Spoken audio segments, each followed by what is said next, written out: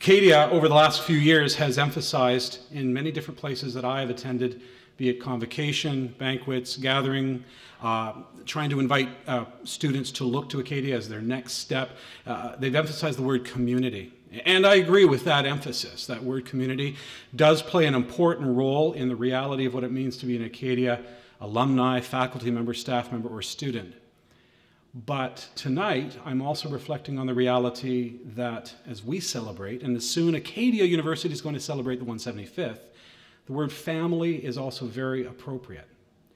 I gather in this room with people that I've known for a long time and people that I've only known for a short time. I see family. I gather in this room and I see people who, by bloodline, are connected with the initiatives that brought about the building, the construction of the chapel. I see family. There are people who have served in many different capacities as chaplains, as congregants, as chapel assistants, as interested participants in the ongoing role of the chapel on this campus and beyond. I see family. I see members of the Wolfville Area Interchurch Council who now are well acquainted with the words interdenominational, ecumenical, interfaith. I see family. That's the reason we celebrate this so wonderful a place where lots of things happen beyond the windows and the beautiful doors and the walls. It's a starting point. That's why we celebrate this night the gift of that chapel to us, to those who have been, and to those who will come. Through the years, we've seen the chapel change in small and large ways. During Senator Ogilvie's time, we were grateful to have the addition to two extensions that allows us to have a chapel library and some additional offices in which chapel assistants can store things, as well as the non cluttery chapel can uh, place things too. We've had the addition of a bell at the 30th anniversary that will ring throughout the town for many different reasons for services, for calling attention to achievements on the campus, such as graduation and the like. We've had just recently the installation of a Zimbelstern, a gift of the class of 1963 in memory of Ruby Mae Thompson. If you don't know what one is, I'm not going to tell you now, but you'll hear it tonight. And as Tom has mentioned, we do look forward as well as looking back in Thanksgiving uh, on the website, and I'll have a brief description of what we plan as far as our project to celebrate 50 years. We call it Chapel Connections. And because of the excellent uh, teamwork that I've shared with chapel assistants and with John Scott, who is our university and chapel organist and communications administrator for our chaplaincy, we've developed the project that will allow upstairs some microphones to be placed by lectern and pulpit because people don't know how to project in the same way that they did 50 years ago. So from time to time, we'll need to augment the voice. A small camera placed upon one of the railings up in the gallery. What will this do? Well, they're more than just paperweights. This allows us to communicate in our services and in our events to people beyond just the immediate moment. That means to record for the purposes of podcast or maybe live streaming at some point. In addition to that, we also are looking in the project to expand downstairs technologically.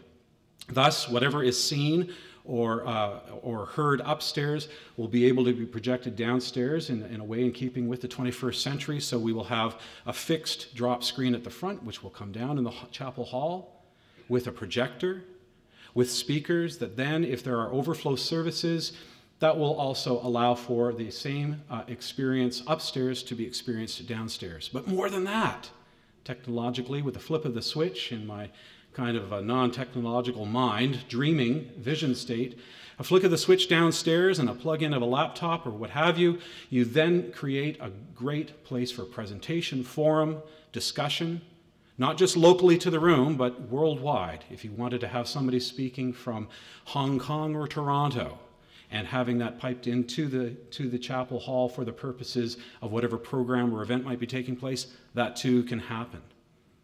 Hopefully, these dreams are just the beginning of things undreamt of thus far. And so it becomes a useful place to many within our university community. With regards to religious events, education events, we strike at the center of the reason for that chapel being there the marriage between the academy and the desire, the need for spiritual inquiry. The chapel, as you know, is a place where, yes, there are services each week throughout all of term. There are about 25 or 30 weddings every year, too, as well as other gathering events of a worship nature that involve interchurch, interfaith, and, and, inter, uh, and ecumenical efforts. But, my friends, the chapel is also used for Qigong meditation on Monday nights and a yoga group on Thursday nights, and has been used for a women's AA group on Monday evenings.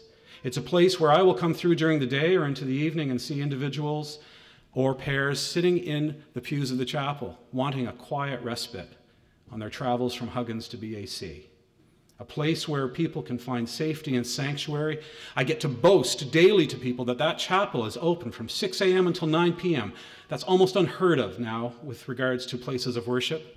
Because of the support of the Acadia community, it, it stays and remains an open place of safety, of inquiry, of prayer, of meditation, regardless of origin. And doesn't that speak well to the charter of Acadia University? In keeping with that, looking forward, we invite you with regards to the project to give generously. Sure, I'll say that. We've also had lots of contributions thus far. We're well equipped to put our project into play so that by latest March 31st of 2014, we will have these things already in place. And if you have op opportunity to make use of the space in whatever way you can think of, call me up. And I'm happy to find a space and a time to involve you in the ongoing life of the chapel. In addition to that project, there have also been some initiatives made in celebration. I'm going to invite Blair Williams to come and join me at the microphone. I told Blair I'm not going to make him talk, but I think Visual aids are always very good. Blair is a brother to Dale and to Jason. And the three of them concocted in their minds and hearts something to celebrate this time too. They attended Acadia University when penultimate chaplain was presiding. and I would like to read for you tonight a citation. Established in 2013 by the Williams brothers, Jason, class of 96, Dale, class of 98, Blair, class of 2005, in celebration of Acadia's longest serving chaplain, Roger Howard Prentice. Now you've all learned something tonight. and Manning Memorial Chapel's 50th anniversary. On the recommendation of the chaplain, the scholarship will be given to a returning student who combines outstanding academic achievement with a contribution to spiritual life on campus through the chapel and its programs. It is called the Roger Prentice Scholarship. The Reverend Dr. Prentice retired from Acadia University in 2007 after 22 years of service. During his tenure at Acadia, Dr. Prentice planned and supervised a number of projects for the chaplaincy, including the publication of the Chapel Times, the installation of the chapel bell in memory of Dr. I. Judson Levy, the Chaplaincy Endowment Fund, the direction of 10 annual Passion plays and the writing of nine, direction of a number of other plays, the establishment of the chapel choir in partnership with Mr. John Scott, and conducting and supervising over the expansion of the chapel building. We're grateful to the Williams brothers for the contributions that makes this scholarship possible, and I will be sure to communicate with them each year as to who the recipient is of the scholarship that we reflect the Acadia spirit in the best. I think we can show our appreciation for this gift.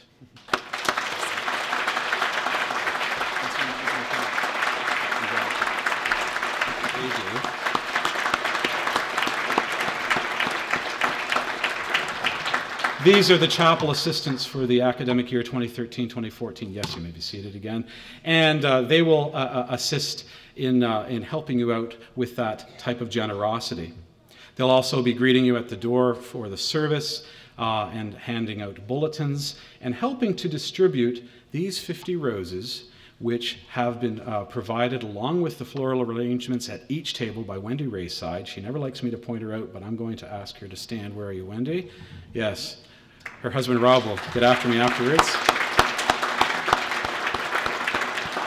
Wendy keeps the chapel space looking beautiful with uh, floral expertise, and each rose for each family is a gift to you as you're on your way out after the chapel service.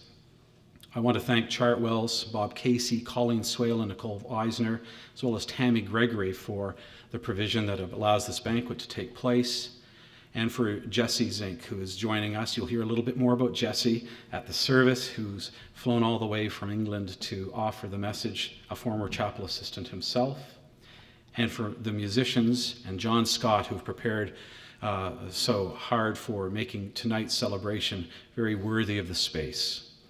By the way, there will be a 645 pre-service music beginning at that time, so I will not uh, talk for very much longer. Uh, reminder, as what has been mentioned before, we will have, thanks to Steve Wilsack, some DVDs made and a podcast to go on our website that will be able to record the service for those who weren't able to be with us this evening. And now it's my pleasure to invite Reverend Frank Locke forward the first chaplain to preside over the Manning Memorial Chapel, who will offer the blessing. After that blessing, there is no further spoken experience for you other than your fellowship around the table. So, bon appetit, and Frank. Thank you very much, and it's a real pleasure to be here tonight. Uh, thank you, Tim, for the invitation I received, and uh, I have many happy memories of 50 years ago. Uh, let's bow in prayer. Let us pray. Our Father in heaven, we do thank you for all the gifts that you give us along the way. We thank you for the gift of life.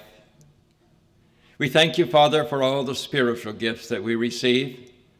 And we thank you so much for the chapel and what it has meant and will continue to mean. We thank you for what we have heard already this evening. And now, Father, we want to thank you for food. We pray that it may remind us of all the blessings we receive at your hand. And we pray, Father, that you will help us to be grateful. And we ask that your blessing will be upon us and on the service, and that we will always remember that all good things come from above. We ask this in Jesus' name. Amen.